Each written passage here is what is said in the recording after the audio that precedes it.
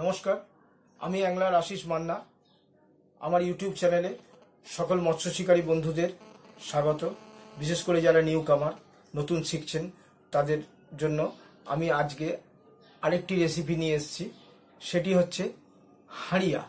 হাঁড়িয়া কি করে বানাবেন? হাড়িয়া বা অনেকে ম্যাথা বলেন হ্যাঁ? এই হাঁড়িয়া দোকান থেকেও কিনে নেন, নিজে ঘরে বানিয়ে নিতে পারেন। এমন কিছু ঝঞ্ঝাট নেই, হ্যাপা নেই হাঁড়িয়াটা ভালো যাতে হয়, তার পদ্ধতিটি আমি বলে দিচ্ছি।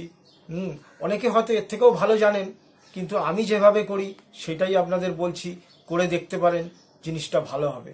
একটি মাটির হাঁড়ি নেবেন, মিডিয়াম সাইজের, খুব বড় নেওয়ার দরকার নেই, মিডিয়াম সাইজের একটি মাটির হাঁড়ি নেবেন। আড়াইশো গ্রাম চাল নেবেন, আড়াইশো গ্রাম চাল, যে চালের ভাত খাওয়া হয়, সেই চালই নেবেন। অন্য কিছু আলাদা চাল ফাল এর জন্য দরকার নেই। আড়াইশো গ্রাম চাল নেবেন। বাকরগুলি দুটি নেবেন, ছোট বাকরগুলি দুটি নেবেন, খুব বড় বড় বাকরগুলি না, ছোট বাকরগুলি যেটা পাওয়া যায় সেটা দু পিস নেবেন। আর শুকনো, দুটো শুকনো লঙ্কা নেবেন। এটা বলে দিচ্ছি, আপনারা হয়তো হাসছেন যে লঙ্কা দিয়ে আবার মাছ ধরা যায় কিনা, কিন্তু লঙ্কা দিয়ে মাছ ধরা যায় না, কিন্তু এটা লঙ্কাটা লাগে, কি কারণে লাগে সেটাও আপনাদের বলে দিচ্ছি হ্যাঁ প্রণালী। এটা আমার তো প্রত্যেকবারেই বানাতে হয়, ফলে এটা আমার একেবারেই মুখস্থ। আর এই লেখাটা ডেসক্রিপশন বক্সে দেওয়া থাকবে। আপনারা সেখান থেকে দেখে নিতে পারেন, অথবা এই ভিডিওর শেষেও ছবি দেওয়া থাকবে, আপনারা সেখান থেকে দেখে নিতে পারেন। প্রথমে কি করবেন?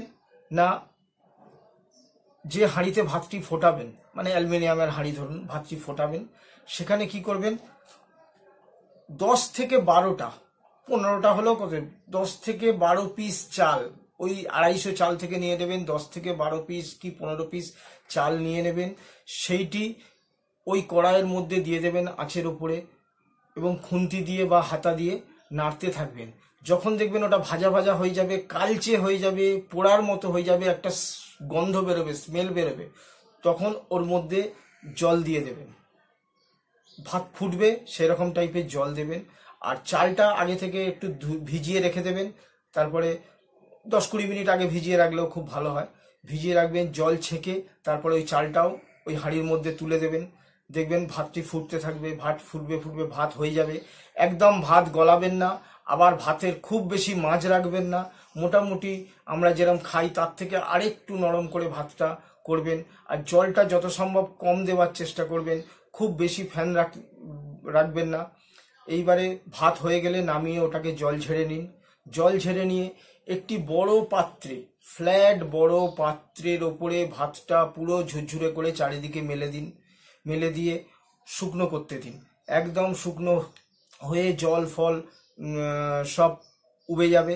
গিয়ে দেখবেন ভাত একেবারে হান্ড্রেড পারসেন্ট ঠান্ডা হয়ে যাবার পর, হান্ড্রেড পারসেন্ট ঠান্ডা হয়ে যাবার পর, ওতে আপনারা দুটো যে বাকরগুলি বলেছি, বাকরগুলিটিকে ভালো করে মিহি করে গুঁড়ো করবেন, ভালো করে মিহি করে গুঁড়ো করে ওর ওপরে ছড়িয়ে দেবেন, ছড়িয়ে দিয়ে ভাতটিকে ভালো করে মেশাবেন, ভালো করে মেশাবেন ভাতে যাতে সব জায়গায় ওই বাকরগুলিটা সমানভাবে মেশে, মেশাবার পরে এটিকে কি করবেন যে মাটির পাত্রটি আছে, মাটির পাত্রটি যদি আগে থেকে আপনাদের থাকে, যেন এটা ভালো করে পুরো খুব পুরনো হলেও এটাকে রোদ খাইয়ে নেবেন, ধুয়ে নেবেন, ভালো করে ধুয়ে রোদ খাইয়ে একেবারে যেন শুকনো হয়, ভেতরে কোনো জল ভাব যেন না থাকে, তার উপরে ভাতগুলো ছড়িয়ে দেবেন, ছড়িয়ে আলতো আলতো করে সব ছড়িয়ে দেবেন, ছড়িয়ে দিয়ে দুটো লঙ্কা দুদিকে ওর উপরে ফেলে দেবেন।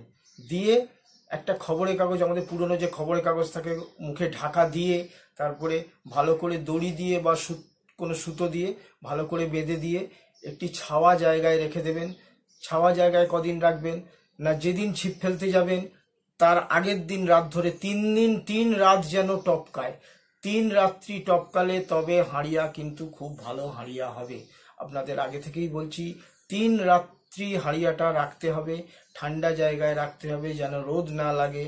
আর লঙ্কা দেওয়ার কারণ হচ্ছে, এই হাঁড়িয়াটা বানানোর সময় আমরা দেখেছি, এর আগেও, এটা আমার এক সাঁওতাল বন্ধুর থেকে শেখা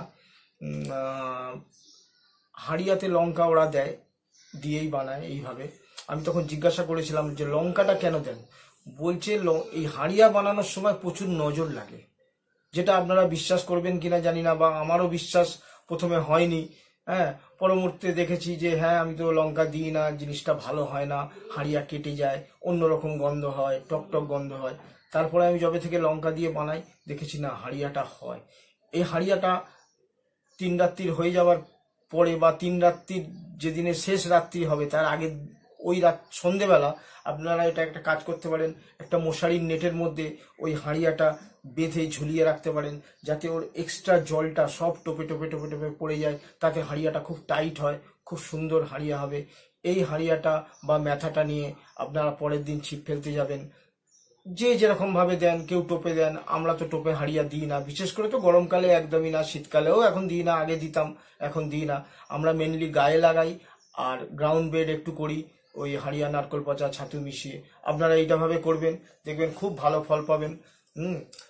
আর আমার এই চ্যানেলটিকে আপনারা খুব খুব করে সাবস্ক্রাইব করুন এবং লাইক করুন, শেয়ার করুন এবং পাশে বেল আইকনটি প্রেস করুন। ধন্যবাদ। নমস্কার জানিয়ে এখানেই আমার ভিডিওটি শেষ করলাম।